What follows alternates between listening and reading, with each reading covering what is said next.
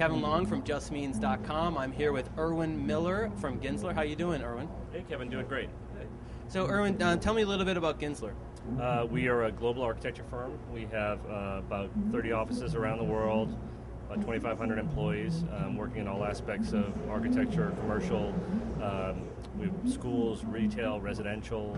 You guys have uh, LEED certified certified architects? Certified. Certified. We got. We have LEED certified um, architects. We have. I think we have one of the largest uh, amounts of LEED certified um, professionals in the industry. Um, we have each employee does the uh, LEED AP program and uh, goes through the process. And we've also built a, a large number of LEED um, LEED certified projects, LEED Silver, and so we're working on some LEED Platinum projects as well. So, are you you're speaking here at Opportunity Green, aren't you? Yeah, I am speaking. tomorrow. And what's your topic on? Uh, my topic's about collaboration.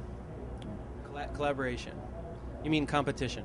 Competition. Well, collaboration. I mean, where we're coming from on this is uh, when Karen came to me from Opportunity Green and said, "Do you want to speak?" I said, "I'm not um, the expert you want to have speaking about green issues, although I care about them and I live them every day.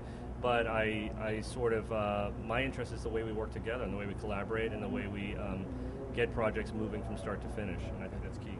So, so I hear this collaboration all the time, especially in the green community. But then the reality is, when you're running a business, you just end up competing. Can you give an example of what do you mean by collaboration? You're talking within companies. Uh, you're talking with competitors. Um, can you give an example? Well, I was at the um, the confluence of influence yesterday, where they got 40 of the leaders from the conference together, and we were talking about some of these issues. And I mean, the green movement and sustainability is still is still very young. You know, we don't think it is, but it's still getting off the ground, and that's why we have conferences like this.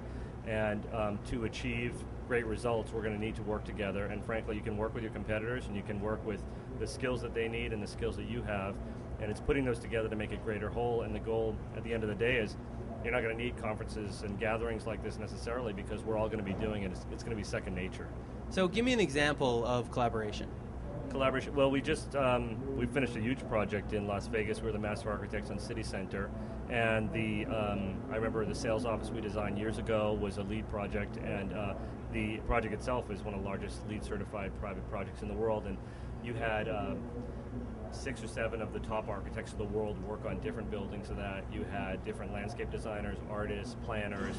Um, LEED specialists, environmental specialists, they all worked together. They all knew for the greater good they needed to make this project work and that's the kind of collaboration that matters. And they all had a vested interest, and people loved their own building, and they loved each piece they did, but they knew for the greater part of the project they needed to work together. That's great. Well, I'm looking forward to your presentation. Thanks. Good talking to you. All right. This is Kevin Long from JustMeans.com at Opportunity Green.